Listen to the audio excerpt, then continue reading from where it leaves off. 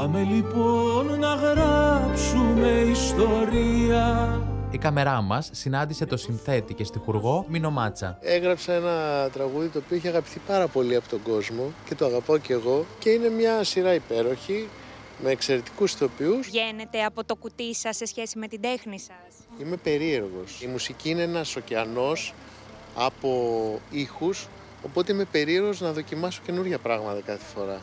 Ε, χρόνος ε, για τα παιδιά σας, για τη σύζυγό σας; Υπάρχει πάντα χρόνος. Πάντα. Έχουμε ιερή Κυριακή και Σάββατο. Τι θαυμάζετε στα παιδιά σας; Θαυμάζω την, ε, την αθωότητά τους. Εμείς θαυμάζουμε πάντα σε εσάς τον τρόπο που μιλάτε για την κυρία Κεφαλογιάννη.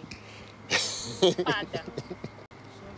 Ε, τι να κάνω, αφού και εγώ τη θαυμάζω, γιατί είναι μια άξια πολιτικός. Έχετε έρθει πιο κοντά στην πολιτική. Μπορούσατε να ασχοληθείτε. Σε καμία περίπτωση. Α, είστε απόλυτος. Το λέτε καμία με περίπτωση. κεφαλαία γράμματα.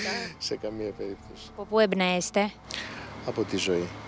Από την ε, κυρία Κεφαλογιάννη και τα παιδιά. Πάντα. Έχετε γράψει κάτι για εκείνους; Είσαι εσύ ο άνθρωπός μου. Έχετε αφιερώσει; Βεβαίως. Σ' αγάπησα, σε πήρα